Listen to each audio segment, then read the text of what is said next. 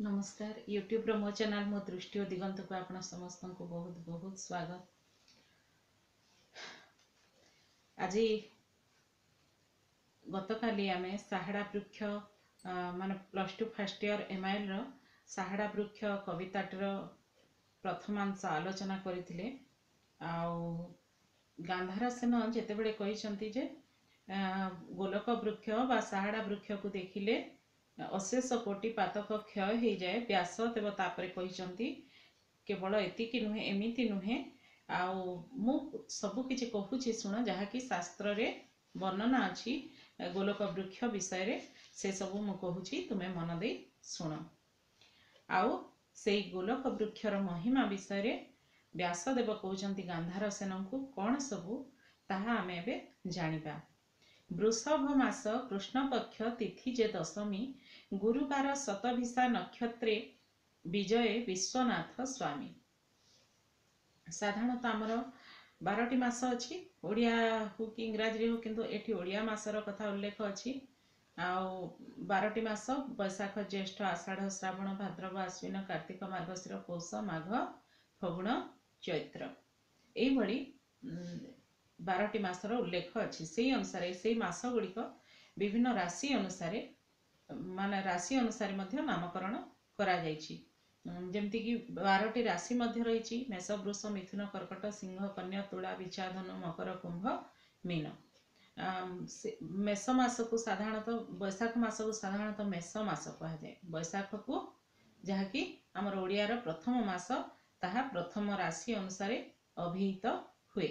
ଆଉ ବୃଷ ମାସକୁ ସେଇ ମାନେ ଜ୍ୟେଷ୍ଠ ମାସକୁ ସେଇଭଳି ବୃଷଭ ବୃଷ ମାସ ବୋଲି କୁହାଯାଏ।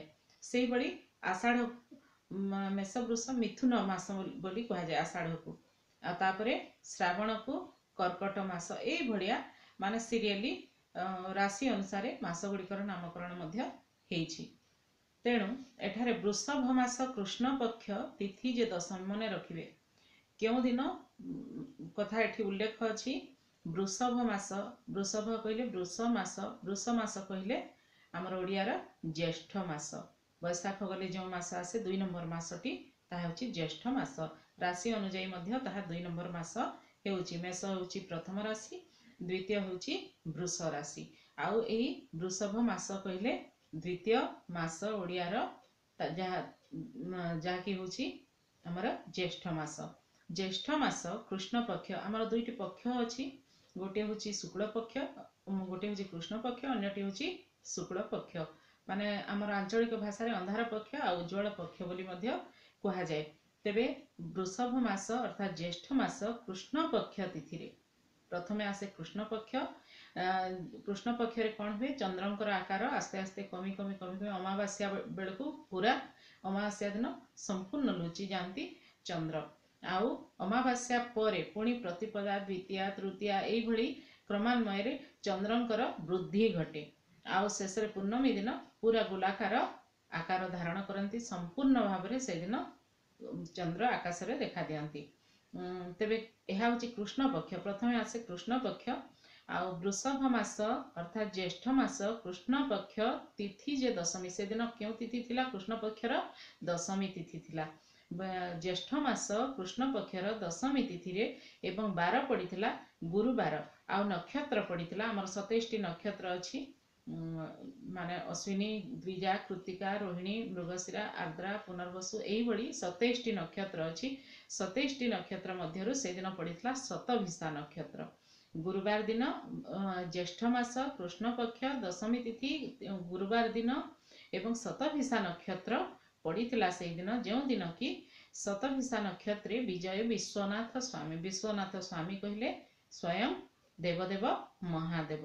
ସେଇଦିନ ବିଜୟ କଲେ ଅର୍ଥାତ୍ ଭ୍ରମଣରେ ବାହାରିଲେ ବିଶ୍ୱନାଥ ସ୍ୱାମୀ ଅର୍ଥାତ୍ ଶିବ। ନନ୍ଦିକେଶ୍ୱର ଦେବ ବୃଷଭ ପଲାଣି ନନ୍ଦିକେଶ୍ୱରକୁ ସାଙ୍ଗରେ ନେଲେ ଆଉ ତାପରେ ଦେବ ବୃଷଭ ଉପରେ ବୃଷଭ ଉପରେ ତାଙ୍କର ଆସନ ପକାଗଲା। ମାନେ ବଳଦ ପିଠିରେ ଅଖା ଭଳିଆ ଯେଉଁ ଆସନ ପକାଯାଏ ସେହି ଆସନ ପକାଗଲା। ତାରି ପିଠିରେ ସେଇ ବଳଦ ପିଠିରେ ପିଠିରେ ଆମେ ଜାଣିଛୁ ବୃଷଭ ହେଉଛି ଶିବଙ୍କର ବାହନ। ଆଉ ସେହି ମାନେ ପଲାଣି କହିଲେ ଯେଉଁ ଆସନ ପକାଯାଏ ବୃଷଭ ଉପରେ ବା ବଳଦ ଉପରେ ଯେଉଁ ଆସନଟି ପକା ଯାଇଥାଏ ସେଇ ଆସନ ଉପରେ ବଳଦ ପିଠିରେ ବୃଷଭ ପିଠିରେ ବିଜେ କଲେ ଦେବ ପିନାକି ଶୂଳ ପାଣି ସେ ହେଉଛନ୍ତି ଶୂଳ ପାଣି ସେ ବିଜେ କଲେ। ହୃଦୟରେ ଆଭରଣ ଉଡ଼ଙ୍ଗ ଶପଥ ଫେରୁ। ହୃଦୟରେ ତାପରେ ସେ ଆଭରଣ କଲେ ତାଙ୍କ ହୃଦୟରେ ଅର୍ଥାତ୍ ବକ୍ଷ ଦେଶରେ ଆଭରଣ କଲେ ଉଡ଼ଙ୍ଗ କହିଲେ ସାପ। ସାପ ହେଉଛନ୍ତି ଭଗବାନ ସବୁବେଳେ ଗଳାରେ ଧାରଣ କରିଥାନ୍ତି। ସାପକୁ ସାତ ଫେର କରି ସାତ ବାର ଗୁଡ଼େଇକିରି ସେ ଧରିଲେ।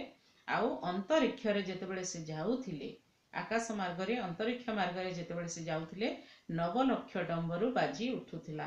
ତାଙ୍କର ଯେଉଁ ଡମ୍ବରୁ ସବୁବେଳେ ବଜାନ୍ତି ମହାଦେବ ସେଇ ଡମ୍ବରୁ ବାଜି ଉଠୁଥିଲା। ନବଲକ୍ଷ ଗୋଟିଏ ଅଧେ ନୁହେଁ ନବଲକ୍ଷ ଡମ୍ବରୁ ବାଜି ଉଠୁଥିଲା। କୌତୁକେ ବିହଡ଼ନ୍ତି ସ୍ୱାମୀ ଦେବରାଜେ।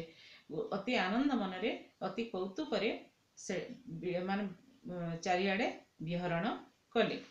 ବୈଲ ଆରୋହୀଣ ଦେବ ମଧ୍ୟପୁରେ ଦିଗ ବିଜେ ବୈଲ କହିଲେ ବୃଷଭ ବା ବଳଦ। ବଳଦ ଆରୋହୀଣ ଦେବ ମଧ୍ୟପୁରେ ପ୍ରଥମେ ମଧ୍ୟପୁରରେ ଦିଗ ବିଜୟ କଲେ ଦିଗ୍ବିଜୟ କରିବା ପାଇଁ ବାହାରିଛନ୍ତି। ସେ ମଧ୍ୟପୁରରେ ପ୍ରଥମେ ଦିଗ୍ବିଜୟ କଲେ ଆଉ ତାପରେ ଅନେକ ତୀର୍ଥ ମଧ୍ୟ ଭ୍ରମଣ କଲେ। ଅନେକ ତୀର୍ଥେ ଅନେକ ତୀର୍ଥେ ପଶି ଆସନ୍ତି ସୁଢଳି। ଅତି ଆନନ୍ଦିତ ହୋଇ ଢଳି ଢଳି ସେ ଅନେକ ତୀର୍ଥ ଭ୍ରମଣ କରି ଆସୁଥାନ୍ତି। ଚଳନ୍ତି ମହେଶ୍ୱର ବୈତରଣୀ ନଦୀ କୂଳେ ଏହାପରେ ମହେଶ୍ୱର ଅର୍ଥାତ୍ ଶିବ ବୈତରଣୀ ନଦୀ କୂଳେ କୂଳେ ତାଙ୍କର ବଳଦ ପିଠିରେ ଆରୋହୀ ବିଚରଣ କରିବାରେ ଲାଗିଲେ। ସେଠି କ'ଣ ଅଛି? ସାହାଡ଼ା ବୃକ୍ଷ ଗୋଟିଏ ଅଛି ବାମକତି ଲାଗି ପତ୍ର ଗୋଟିଏ ଏକ ବୈଲ ମଥାରେ ଘେନିଲାକ ବେଗି। ଆଉ ସେଠି କ'ଣ ଅଛି ନା ଗୋଟେ ସାହାଡ଼ା ବୃକ୍ଷ ରହିଛି ବୈତରଣୀ ନଦୀର କୂଳେ। ସାହାଡ଼ା ବୃକ୍ଷ ଗୋଟିଏ ଅଛି ବାମ କତି ଲାଗି ଯେଉଁ ରାସ୍ତା ଦେଇ ଯାଉଥିଲେ ବୈତରଣୀର କୂଳେ କୂଳେ ଯେଉଁ ରାସ୍ତା ଦେଇ ଯାଉଥିଲେ ମହାଦେବ ସେଠି ବାମ ପାଖରେ ରାସ୍ତାର ଯିବାର ଯିବା ରାସ୍ତାର ବାମ ପାର୍ଶ୍ୱରେ ଗୋଟିଏ ସାହାଡ଼ା ବୃକ୍ଷ ଦେଖିକିରି ପତ୍ର ଗୋଟିଏ ତୋଳିଲା ସାଙ୍ଗେ ସାଙ୍ଗେ ପତ୍ର ଗୋଟିଏ ଆଣିଲା ଏବଂ ବଳ ବଳଦ କ'ଣ କଲା ତାକୁ ମଥାରେ ଛୁଆଇଁ ଦେଲା। ଈଶ୍ୱର ପୁଚ୍ଛା କଲେ ଶୁଣହୁ ମହାବୃଷଭ ତାପରେ ଈଶ୍ୱର ତାହା ଦେଖିପାରିଲେ ତାକୁ ପଚାରିଲେ ଶିବ ତାହା ଦେଖିକିରି ତାକୁ ପଚାରିଲେ ଶୁଣହୁ ମହାବୃଷଭ ଏ ପତ୍ର ଗୋଟି ମଥାରେ ଘେନିଲୁ କି ସୁଲଭ ହୋଇବ ଏଇ ଯେଉଁ ପତ୍ରଟି ତୁ ମଥାରେ ଘେନିଲୁ ମୁଣ୍ଡରେ ଖୋସିଲୁ ଏହା ଦ୍ୱାରା ତୋତେ କ'ଣ ମିଳିବ ବୃଷଭ ବୋଇଲା ଦେବ ବାମେ ଯେବେ ସାହାଡ଼ା ବୃକ୍ଷ ଥାଇ ତାପରେ ବୃଷଭ ତାର ଦେବଙ୍କୁ ତାର ମାଲିକଙ୍କୁ କହୁଛି ହେ ଦେବ ବାମ ମାନେ ଯିବା ସମୟରେ ଯଦି ବାମ ପାର୍ଶ୍ୱରେ ସାହାଡ଼ା ବୃକ୍ଷ ଥିବ ତାହେଲେ ପତ୍ର ଗୋଟିଏ ଯଦି ଶିରରେ ଘେନିବ ମଥାରେ ଲଗେଇବ ତାହେଲେ ଅମୃତ ଯୋଗାଡ଼ ପାଇ ଅମୃତ ଯୋଗାଡ଼ କହିଲେ ଭଲ ଭଲ ଉତ୍ତମ ଖାଦ୍ୟଦ୍ରବ୍ୟମାନ ମିଳେ। ଡାହାଣ ପାଖେ ଯେବେ ବୟର ବୃକ୍ଷ ଥାଏ ବୟର କହିଲେ ବରକୋଳି ଗଛ। ଆଉ ଡାହାଣ ଭାଗରେ ଯଦି ଯିବା ରାସ୍ତାରେ ଯଦି ଡାହାଣ ଭାଗରେ ବୟର ଗଛ ଥିବ ବା ବରକୋଳି ଗଛ ଥିବ ତହିଁରୁ ଯଦି ପତ୍ର ଗୋଟିଏ ଧରିବ ପତ୍ର ଗୋଟିଏ ଘେନିକିରି ଯିବ ତାହେଲେ ଯେତେ ଶତ୍ରୁ ବି ଥିବେ ସମସ୍ତେ କ୍ଷୟ ହେଇଯିବେ ଶତ୍ରୁ କ୍ଷୟ ହୁଏ ତହିଁରୁ ପତ୍ର ଗୋଟିଏ ଘେନିଲେ ଶତ୍ରୁ କ୍ଷୟ ଯାଇ। ଆଗରେ ଶ୍ଵେତ ଦୁବ ଦେଖିଲେ ମଥାରେ ଘେନିମ ତୋଳି ଅନେକ ଦୋଷ କ୍ଷୟ ଯାଏ ଶୁଣିମା କପାଳି। ତାପରେ ପୁଣି କହୁଛି କେଉଁ ବୃକ୍ଷର କିଭଳିଆ ଗୁଣ ଅଛି ତାହା ବଳଦ ବଖାଣୁଛି। ମହାଦେବଙ୍କ ଆଗରେ ଯେ ମାନେ ସାହାଡ଼ା ବୃକ୍ଷ ଯଦି ବାମ କତି ଥିବ ତାର ପତ୍ର ଗୋଟିଏ ମଥାରେ ଘେନିଲେ ମାନେ ଅମୃତ ସମ ଖାଦ୍ୟ ସବୁ ପ୍ରାପ୍ତି ହେବ। ଆଉ ଯଦି ବରକୋଳି ଗଛ ଥିବ ଡାହାଣ ପାର୍ଶ୍ୱରେ ବରକୋଳି ପତ୍ରଟି ଘେନିଲେ ଶତ୍ରୁକ୍ଷୟ ଯିବ ଆଉ ଯଦି ଆଗରେ ଯିବା ସମୟରେ ନିଜର ସମ୍ମୁଖ ଭାଗରେ ଯଦି ଶ୍ଵେତ ଦୁବ ଥିବ ଧଳା ରଙ୍ଗର ଦୁବ ଗଛ ଥିବ ଦେଖିଛନ୍ତି ଆପଣମାନେ ଧଳା ରଙ୍ଗର ଦୁବ ବି ଅଛି। ଅବଶ୍ୟ କେଉଁ କାରଣ ପାଇଁ ସତରେ ନା ମାନେ ଦୁବର ଗୋଟେ ପ୍ରଜାତି ସେଇଟା କହିହେବ ନାହିଁ। ବା ମାନେ କିଛି ଭିଟାମିନ୍ ଅଭାବରୁ କି କୌଣସି ମାନେ ସାର ଅଭାବରୁ କିମ୍ବା ସୂର୍ଯ୍ୟ କିରଣ ଅଭାବରୁ ସେଇଭଳିଆ ମଝିରେ ମଝିରେ ଶାଗୁଆ ରଙ୍ଗର ଦୁବ ମଝିରେ ମଝିରେ ଧଳା ଦୁବ ଗଛ ହେଇଯାଇଥାଏ ତାହା ମୁଁ ଜାଣିନାହିଁ ଆଜି ପର୍ଯ୍ୟନ୍ତ କିନ୍ତୁ ଅଛି। ଧଳା ଦୁବ ଅଛି। ଆଉ ଏଇ ଧଳା ଦୁବ କଥା ମାନେ ଏଠି ପଢ଼ିଲେ ନା ମୋର ଗୋଟିଏ କଥା ବହୁତ ମାନେ ମନେ ପଡ଼ିଯାଉଛି। ଛୋଟବେଳେ ଆମେ କ'ଣ କରୁଥିଲୁ? ମାନେ କେଉଁଠୁ କେଉଁଦିନ ସ୍କୁଲରେ କିଛି ଖେଳାଖୁଳି ଯଦି କରିଦେବୁ କିମ୍ବା କାହା ଘରକୁ ଯାଇଥିବୁ ଫେରିଲା ବେଳେ ଯଦି ଡେରି ହେଇଯିବ ଘରେ ଗାଳି ଖାଇବାକୁ ପଡ଼ିବ ଗାଳି ଶୁଣିବାକୁ ପଡ଼ିବ ସେଇଥିପାଇଁ ଆମେ ସାଙ୍ଗମାନେ ସବୁ କ'ଣ କରୁଥିଲୁ ଧଳା ଦୁବ ଗଛ ସବୁ କେଉଁଠି ଅଛି ଖୋଜୁଥିଲୁ। ଆଉ ଯଦି ଦୁବ ଗଛ ମିଳିଗଲା ଗୋଟେ ଦୁବ ଛିଣ୍ଡେଇକିରି ମାନେ ହାତରେ ଧରିଥାଉ ହାତରେ ମୁଠା କରିକି ଧରିଥାଉ ଆଉ ଘରକୁ ଫେରୁ। ମାନେ ଧଳା ଦୁବ ଘେନିଲେ କୁଆଡ଼େ? ଘରେ ଆଉ ଗାଳି ଦେବେନି। ଏଇ ଆମ ସମସ୍ତଙ୍କର ଭାବନା ଥିଲା ବିଶ୍ୱାସ ଥିଲା। ତେବେ ତାହା କେତେବେଳେ ସତ ବି ହେଉଥିଲା ଆଉ କେତେବେଳେ ହେଉ ବି ନଥିଲା। ଯାହା ବି ହଉ ଏଠି ଯେଉଁ ବୃଷଭ ବର୍ଣ୍ଣନା କରିଛି ଯେ ଆଗରେ ଶ୍ଵେତ ଦୁବ ଦେଖିଲେ ମଥାରେ ଘେନିମ ତୋଳି ସେଇଭଳି ଶ୍ଵେତ ଦୁବ ଧଳା ଦୁବ ଯଦି ଦେଖିବ ତାକୁ ମଧ୍ୟ ମଥାରେ ମାନେ ତୋଳିବ ଆଉ ଘେନିବ ଧରିବ। ତାହେଲେ ଅନେକ ଦୋଷ କ୍ଷୟ ଯିବ। ହେ କପାଳି ତୁମେ ଶୁଣ କପାଳି କହିଲେ ଶିବ ହେ ଶିବ ହେ ମହାଦେବ ତୁମେ ଏଇ କଥା ଜାଣିଥାଅ। ତାପରେ କେବଳ ଏତିକି ନୁହେଁ ଚାରୋଟି ବୃକ୍ଷର ମହିମା ବର୍ଣ୍ଣନା କରୁଛି। ଗୋଟେ ହେଲା ସାହାଡ଼ା ବୃକ୍ଷ ଯାହାକି ଅମୃତ ସମ ଭୋଜନ ପ୍ରାପ୍ତି ହେବ। ଆଉ ଦୁଇ ନମ୍ବର ହେଉଛି ବୟର ଗଛ ଯାହାକି ଡାହାଣ ପାଖରେ ଥିଲେ ତାହା ଶତ୍ରୁ କ୍ଷୟ ଯିବ ତୃତୀୟରେ ଶ୍ଵେତ ଦୁବ ଦେଖିଲେ ଅନେକ ଦୋଷ କ୍ଷୟ ଯିବ ଆଉ ତୁଳସୀ ବୃକ୍ଷ ତାପରେ ଶେଷଟି ହେଉଛି ତୁଳସୀ ବୃକ୍ଷ ତୁଳସୀ ବୃକ୍ଷ ଯେବେ ଦେଖିବ ପଛ କତି ଲେଉଟି ପଛ ପଛ ପାଖରେ ନିଜର ପଛ ପାଖରେ ଯଦି ତୁଳସୀ ଗଛ ଥିବ ତାହେଲେ ତାକୁ ମଧ୍ୟ ତାର ପତ୍ରଟିଏ ମଧ୍ୟ ମଥାରେ ଘେନିବ। କିନ୍ତୁ ତୋଳିକିରି ନୁହେଁ ତୁଳସୀ ପତ୍ର ଝଡ଼ି ଯାଇଥିବ। ଯେଉଁ ଝଡ଼ିଲା ତୁଳସୀ ପତ୍ର ତଳେ ପଡ଼ିଥିବ ତାକୁ ଗୋଟିଏ ଆଣିବା। ସାଙ୍ଗେ ସାଙ୍ଗେ ଯଦି ମଥାରେ ଘେନିବ ଅର୍ଥାତ୍ ମୁଣ୍ଡରେ ମସ୍ତକରେ ଲଗାଇବ ତାହେଲେ କ'ଣ ହେବ? ଜ୍ଞାନେ ଅଜ୍ଞାନେଣ ଯେତେକ ପାପ ଅଛି ଜ୍ଞାନ ଜ୍ଞାତ ସାରରେ ହେଉ ବା ଅଜ୍ଞାତ ସାରରେ ହେଉ ଯେତେ ବି ପାପ କରିଥିବ ସବୁ ପାପ କ୍ଷୟ ହେଇଯିବ। ତକ୍ଷଣେ ସକଳ ପାତକ ଯାଇ ଲେଛି ସବୁ ପାପ ତତ୍କ୍ଷଣାତ୍ ସେହି ସମୟରେ ହିଁ କ୍ଷୟ ହେଇଯିବ। ସୁପଙ୍କୁ ଅନ୍ନ ପ୍ରାପତ ସାହାଡ଼ା ପତ୍ର ଘେନିଲେ ଏସନେକ ଚରିତ ବୃଷଭ ବୋଇଲେ। ଆଉ ସେ କହୁଛନ୍ତି ସୁପଙ୍କୁ ସୁପଙ୍କୁ କହିଲେ ସେ ସମୟର ପ୍ରଚଳିତ ଆଞ୍ଚଳିକ ଶବ୍ଦ ଯାହାକି ମହାଭାରତରେ ବର୍ଣ୍ଣନା କରିଛନ୍ତି ସାରଳା ଦାସ ଆଉ ସୁପଙ୍କୁ କହିଲେ ସୁପକ୍ୱ ସୁମିଷ୍ଟ ଦ୍ରବ୍ୟ। ମାନେ ଅମୃତ ସମ ସୁମିଷ୍ଟ ଦ୍ରବ୍ୟ ସୁମିଷ୍ଟ ଅନ୍ନ ପ୍ରାପ୍ତ ହେବ ବୋଲି ସାହାଡ଼ା ପତ୍ର ଘେଣିଲେ ସୁପଙ୍କୁ ଅନ୍ନ ପ୍ରାପ୍ତ ହେବ ବୋଲି ସେହି ବୃଷଭ କହୁଛନ୍ତି। ଭୋଜନ ପ୍ରାପ୍ତ ହୋଇ ସାହାଡ଼ା ପତ୍ରକ ଘେନିଲେ ଆଜି ପରୀକ୍ଷା ଜାଣିମା ସଦାନନ୍ଦେ ବୋଇଲେ ସଦାନନ୍ଦ କହିଲେ ଶିବ ସେ କହୁଛନ୍ତି ସତରେ କ'ଣ ଭୋଜନ ପ୍ରାପ୍ତ ହୁଏ? ଅମୃତ ସମ ଭୋଜନ ପ୍ରାପ୍ତ ହୁଏ? ସାହାଡ଼ା ପତ୍ରଟିଏ ମଥାରେ ଘେନିଲେ?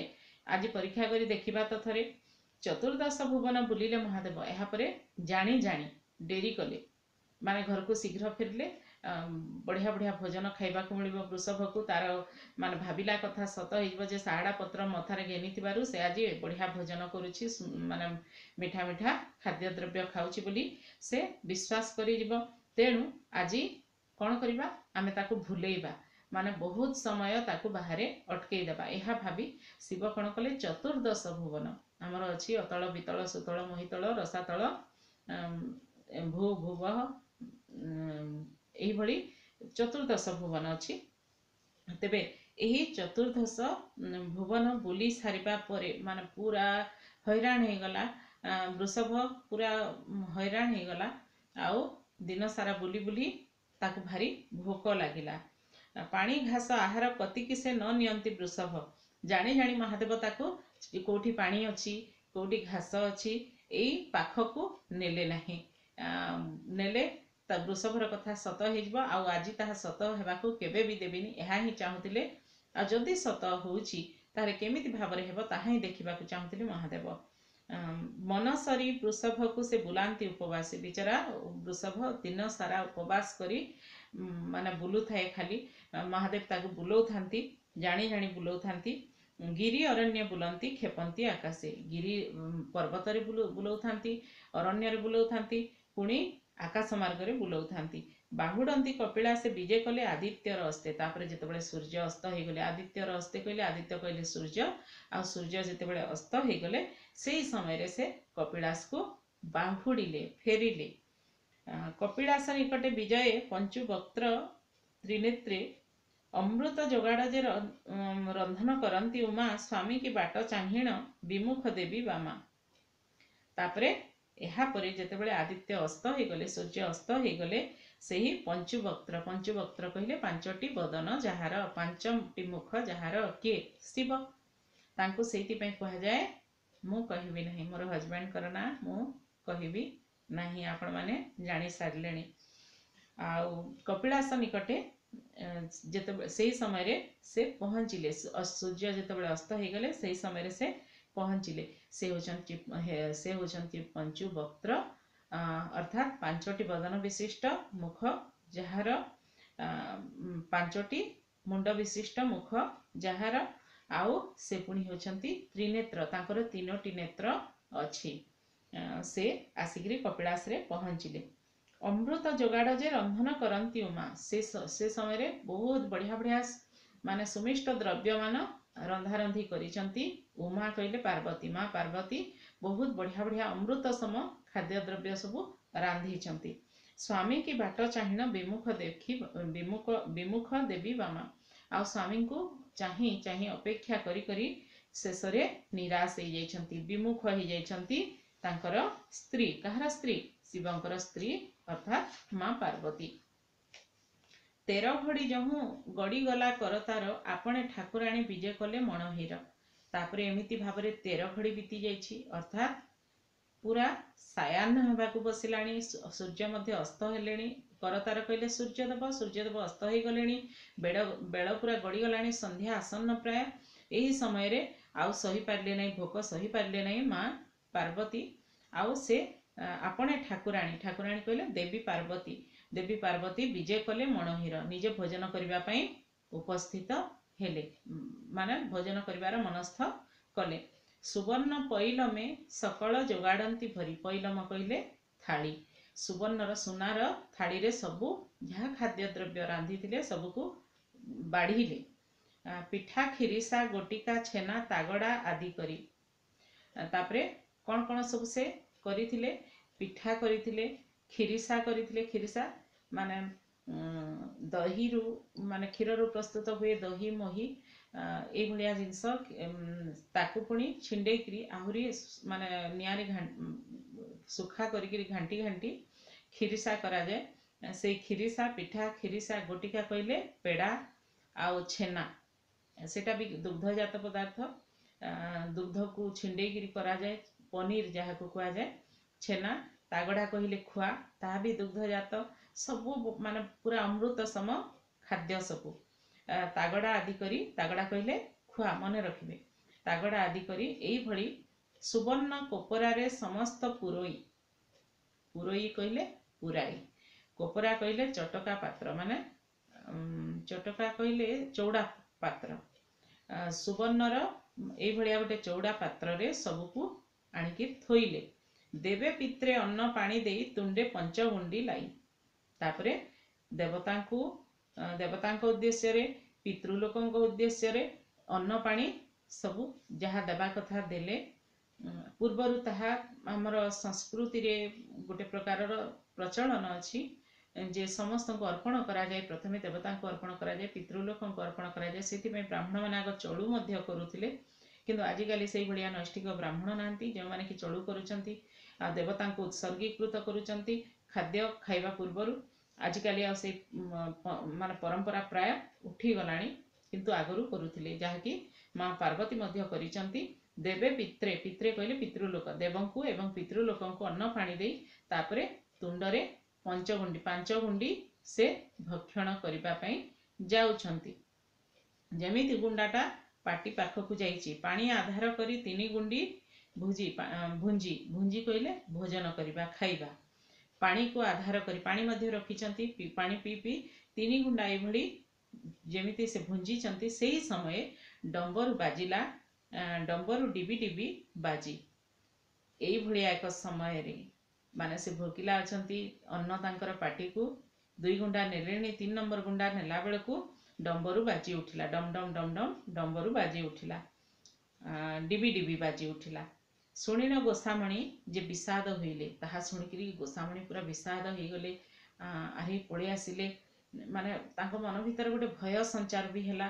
ପଳେଇ ଆସିଲେ ମହାଦେବ ପଳେଇ ଆସିଲେଣି ଆଉ ମୁଁ ତାଙ୍କୁ ଛାଡ଼ିକିରି ଖାଇଦେଉଛି ଉମ୍, ମାନେ ତାଙ୍କର ଅନୁପସ୍ଥିତିରେ ଖାଇଦେଉଛି ଦେଖିକିରି ନିଶ୍ଚିତ ଭାବରେ କ୍ରୋଧିତ ହେବେ ତାଙ୍କୁ ମୁଁ ଅପେକ୍ଷା କଲି ନାହିଁ ବୋଲି ଭା- ଭାବିବେ ଆଉ ରାଗିଯିବେ। ଏଇଆ ଭାବି ସେ ମନେ ମନେ ବିଷାଦିତ ହେଲେ। କେମନ୍ତ କରିବି ମୁଁ ହିଁ ଈଶ୍ୱର ବିଜେ କଲି ଏବେ କ'ଣ କରିବି ମୁଁ? ଆଁ, ମାନେ ଏଇ ଖାଦ୍ୟ ସବୁ କେମିତି କୋଉଠି ରଖିବି କ'ଣ କରିବି ମୋତେ ଦେଖିଲେ ମହାଦେବ କ'ଣ ଭାବିବେ ଏଇଆ ଭାବି ଉଁ, ସେ ବହୁତ ମାନେ ଦୁଃଖ ପ୍ରକାଶ କଲେ। ଆଉ ଏହି ସମୟରେ ବର୍ତ୍ତମାନ ତ ଈଶ୍ୱର ବିଜେ କରିଗଲେଣି ପୁରା ପହଞ୍ଚି ଆସିଲେଣି କପିଳାସକୁ ମାନେ ନିଜ ସଦନକୁ। ଏବେ ମୁଁ କ'ଣ କରିବି ଏଇଆ ଭାବି ଭାବି ସଙ୍କୋଚରେ ସଙ୍କୋଚେଣ ମଣ ହିଁ ଛାଡ଼ି ଉଠିଲେ ବେଗ ହେଇ। ଯାହା ବି ହଉ ସଙ୍କୁଚିତ ହେଇଗଲେ ସମ୍ପୂର୍ଣ୍ଣ ଭାବରେ ଏବଂ ସେଇ ସଙ୍କୁଚିତ ହେଇକିରି ସଙ୍କୋଚରେ ସେ ମଣୋହିକୁ ଛାଡ଼ି ନିଜର ଭୋଜନକୁ ଛାଡ଼ି ସାଙ୍ଗେ ସାଙ୍ଗେ ବେଗ ହେଇକିରି ଶୀଘ୍ର କରି ଉଠିଗଲେ ଏବଂ ବୃଷଭ ଗୁଆଣୀରେ ଲୁଚାଇଲେ ନେଇ। ଗୋରୁଖିଆ କୁଣ୍ଡ ଯୋଉ ଥାଏ ମାନେ ଗୁହାଳରେ ଗୋରୁମାନଙ୍କ ଖାଇବା ପାଇଁ ଗାଈ ଗୋରୁଙ୍କ ଖାଇବା ପାଇଁ ବଡ଼ ବଡ଼ କୁଣ୍ଡ ସବୁ ଥାଏ। କୋଉଟା ଲମ୍ବା ଥାଏ କୋଉଟା ଗୋଲାକାର କୁଣ୍ଡ ଥାଏ ଏଇଭଳି କୁଣ୍ଡ ସବୁ ଥାଏ। ସେଇ କୁଣ୍ଡ ଉପରେ ସବୁ ଢାଳି ଦେଲେ ପିଠା କ୍ଷୀରି ସାକର ପୁରୋଇଲେ କାଞ୍ଚଲାରେ। ପିଠା କ୍ଷୀରି ଆଉ ସାକର। ଏଇଭଳିଆ ମାନେ ଅମୃତ ଖାଦ୍ୟ ସବୁ ଗୋଟେ କାଞ୍ଚଲାରେ କାଞ୍ଚଲାରେ କହିଲେ କଂସାରେ। ମାନେ ଯାହାକି ବେଶୀ ଓସାରିଆ ହେଇନଥିବ ସେଇଭଳିଆ କଂସାରେ ସେ ପୂରେଇ ଦେଲେ। କ'ଣ କ'ଣ ପୂରେଇଲେ? କାଞ୍ଚଲାରେ କ'ଣ କ'ଣ ପୂରେଇଲେ? ପିଠା କ୍ଷୀରି ଆଉ ସାକର ପୂରେଇଲେ ପୂରୋଇଲେ କାଞ୍ଚଲାରେ ଆଞ୍ଚ ଆଞ୍ଚ ବନ ସାରି ଦେବୀ ହୋଇଲେ ବାହାରେ। ତାପରେ ଆଞ୍ଚି ପକେଇଲେ। ହାତ ଧୋଇ ପକେଇଲେ ମୁହଁ ଧୋଇ ପକେଇଲେ ଆଞ୍ଚିବା କହିଲେ ଏଇଆ ହିଁ ବୁଝାଯାଏ। ଆଞ୍ଚ ଆଞ୍ଚବନ ସାରି ଦେବୀ ହୋଇଲେ ବାହାରେ। ଆଞ୍ଚବନ ସାରି ଅର୍ଥାତ୍ ଆଚମନ ସାରି ଆଞ୍ଚିକିରି ତାପରେ ଦେବୀ ବାହାରକୁ ବାହାରି ଆସିଲେ। ରତନ ଝରିରେ ଦେବୀ ପାଣି ଯେ ପୁରୋଇ ଛାମୁରେ ପ୍ରବେଶ ଯେ ହୋଇଲେ ମହାମାୟୀ। ତାପରେ ରତ୍ନ ଝରିରେ ଝରି କହିଲେ କଳସ ମାନେ ଗଡ଼ୁ। ରତ୍ନ ଗୋଟେ ସୁନାର ଗଡ଼ୁରେ ପାଣି ଗଡ଼େ ସେ ବାହାର କଲେ ଏବଂ ଶିବଙ୍କ ସମ୍ମୁଖରେ ଯାଇକିରି ଉଭା ହେଲେ ମହାମାୟୀ ଅର୍ଥାତ୍ ମା ପାର୍ବତୀ ଉଭା ହେଲେ ନନ୍ଦିକେଶ୍ୱରଙ୍କୁ ରାଇ ଆଜ୍ଞା ଦେଲେ ଦିଲେ ସଦାନନ୍ଦ ବୃଷଭ ଗୋଟିକ ନେଇ ଗୁଆଣୀରେ ବେଗେ ବାନ୍ଧ ତାପରେ ନନ୍ଦିକେଶ୍ୱରକୁ ଡାକିଲେ କିଏ ଡାକିଲେ ଶିବ ଡାକିଲେ ଏବଂ କହିଲେ ଯା ଯା ଏଇ ବୃଷଭକୁ ନେଇଯାଅ ତାର ଗୁଆଣୀରେ ଅର୍ଥାତ୍ ଗାଈ ଗୁହାଳରେ ତାର ଯେଉଁ ଉମ୍, ମାନେ ଖୁଣ୍ଟଟି ଅଛି ସେଇ ଖୁଣ୍ଟରେ ଶୀଘ୍ର ବାନ୍ଧି ଦିଅ। ଆଉ ତାକୁ କିଛି ଖାଇବାକୁ ଦିଅ ନାହିଁ। ତେବେ ଆଜି ଆମେ ଏତିକି ପଢ଼ିବା କାରଣ ଅଧିକ ପଢ଼ିଲେ ମୁଁ ସିନା ମାନେ ଆ, ପଢ଼େଇ ଦେବି ଆପଣମାନଙ୍କୁ ହୁଏତ ବିରକ୍ତ ବି ଲାଗିପାରେ ବିରକ୍ତ ଲାଗିବାର ଜିନିଷ ଏ ନୁହେଁ ବହୁତ ଭଲ ଲାଗେ ଏଇ କବିତାଟି କିନ୍ତୁ ମୁଁ ଆଉ ପଢ଼େଇବି ନାହିଁ ଏତିକିରେ ଆଜି ଆମେ ପାଠପଢ଼ା ଶେଷ କରିବା ଆଉ ପରବର୍ତ୍ତୀ ସମୟରେ ଏହାର ଅବଶିଷ୍ଟାଂଶ ଆଉ ଗୋଟିଏ କ୍ଲାସ୍ ହିଁ ହେବ ଏ, ମାନେ ଆଜି ହେଉଛି ପାର୍ଟ ଟୁ କାଲି ତ ପଢ଼ିଥିଲେ ଆମେ ପାର୍ଟ ୱାନ୍ ଆଜି ହେଉଛି ପାର୍ଟ ଟୁ ଶାରଳା ବୃକ୍ଷର ଆଉ ଆସନ୍ତା କାଲି ହେବ ପାର୍ଟ ଥ୍ରୀ ଏଇଭଳି ଅଳ୍ପ ଅଳ୍ପ କରି ପଢ଼ିବା ମନେ ରଖିବା ଭଲ ଭାବରେ ମନେ ରଖିବା। ଆଉ ମାନେ ମୁଁ ଯେଉଁ ପଢ଼ଉଛି ତାହା ଆପଣମାନେ ସମସ୍ତେ ବୁଝିପାରୁଛନ୍ତି କି ନାହିଁ କମେଣ୍ଟ ବକ୍ସରେ ମାନେ ଲେଖିଲେ କମେଣ୍ଟ କରିକି ଲେଖିଲେ ମୁଁ ଭଲ ଭାବରେ ଜାଣିପାରିବି। ଉମ୍, ସମସ୍ତେ ଯଦି ବୁଝିପାରୁଛନ୍ତି ବି ଲେଖିବେ ଲାଇକ୍ଟେ ନିଶ୍ଚିତ ଭାବରେ କରିବେ। ଆଉ ବୁଝି ଯଦି ନ ପାରୁଛନ୍ତି କ'ଣ ଯଦି ମାନେ ଡାଉଟ୍ ରହିଯାଉଛି ଉମ୍, କିଛି ଅବୁଝା ରହିଯାଉଛି ତାହେଲେ ମଧ୍ୟ ଲେଖିବେ ମୁଁ ତାହା ପରବର୍ତ୍ତୀ ସମୟରେ ଆମ୍, ସେଇ ଡାଉଟ୍ କ୍ଲିଅର୍ କରିବା ପାଇଁ ଚେଷ୍ଟା କରିବି। ଆଁ, ଆଉ ଯଦି ମ- ମାନେ ଆପଣଙ୍କର ସାଙ୍ଗସାଥି କେହି ଅଛନ୍ତି ତାଙ୍କୁ ମଧ୍ୟ এই ବିଷୟରେ ଭିଡ଼ିଓ ବିଷୟରେ ଜଣେଇଦେବେ ସେମାନେ ମଧ୍ୟ ଉପକୃତ ହେବେ। ଅଧିକରୁ ଅଧିକ ସେୟାର କରିବାକୁ ଭୁଲିବେ ନାହିଁ। ଯଦି ସବସ୍କ୍ରାଇବ୍ କରିନଥିବେ ତାହେଲେ ସବସ୍କ୍ରାଇବ୍ଟିଏ କରିଦେବେ। ପାଖରେ ଥିବା ବେଲ୍ ଆଇକନ୍କୁ ଦବାଇଦେବେ ଏବଂ ଅଲ୍କୁ ଦବାଇଦେବେ ତାହେଲେ ମୋର ନୂଆ ନୂଆ ଭିଡ଼ିଓ ସବୁ ଆପଣମାନଙ୍କ ପାଖରେ ଶୀଘ୍ର ପହଞ୍ଚିଯିବ। ତେବେ ରହୁଛି ଆଜି କ୍ଲାସ୍ଟି ଏତିକିରେ ମୁଁ ରଖୁଛି। ପରବର୍ତ୍ତୀ ସମୟରେ ଆଉ ଗୋଟେ କ୍ଲାସ୍ରେ ଆମେ ଏହାର ଅବଶିଷ୍ଟାଂଶ ବା ଶେଷ ଭାଗ ଆଲୋଚନା କରିବା। ଆଉ ପୁଣି ଆପଣମାନଙ୍କ ସହ ସାକ୍ଷାତ ହେବ।